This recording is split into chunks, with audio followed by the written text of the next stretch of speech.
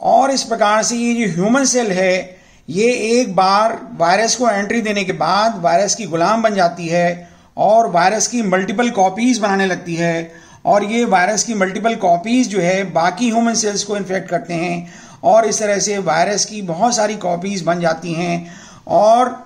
जब वायरस की बहुत सारी कॉपीज बन जाती हैं तो वो बहुत सारी सेल्स को लंग्स के अंदर आर्टरीज के अंदर किडनी के अंदर गैस्ट्रोइंटेस्टाइनल ट्रैक के अंदर जाके इन्फेक्ट करने लगती हैं, जिसकी वजह से मरीजों को सांस फूलने की शिकायत किडनी फेलियर की शिकायत लूज मोशंस की शिकायत होने लगती हैं और भिन्न भिन्न प्रकार के सिम्टम्स आने लगते हैं।